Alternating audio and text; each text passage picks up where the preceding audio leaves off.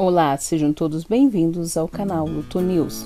No vídeo de hoje temos uma triste notícia, mas antes de qualquer coisa peço que inscreva-se e deixe seu like. Obrigada!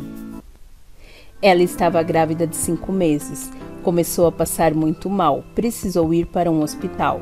Após ficar três dias em observação, foi liberada, mas depois de um dia em casa, ela novamente sentiu mal, estava com dores no peito.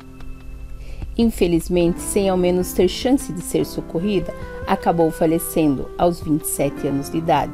O bebê também morreu. Trata-se de Daiane dos Santos Pereira.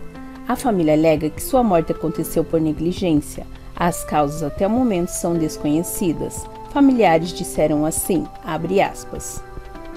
Falaram que poderia ser trombose, dengue e até covid. Só falaram que ela e a criança morreram e estamos sem entender como uma gestante morre assim. Queremos respostas.